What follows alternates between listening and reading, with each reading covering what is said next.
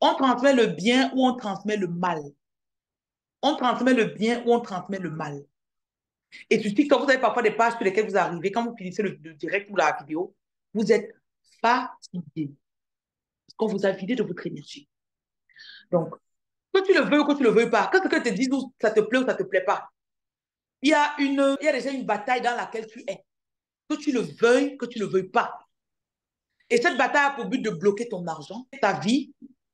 Parce que si tu es conscient de quelque chose, écoutez, si je me rends compte de quelque chose, je peux y remédier.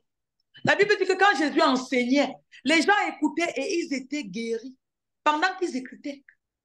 Vous voyez que votre premier combat, votre premier combat se trouve au niveau de quoi? De votre compréhension.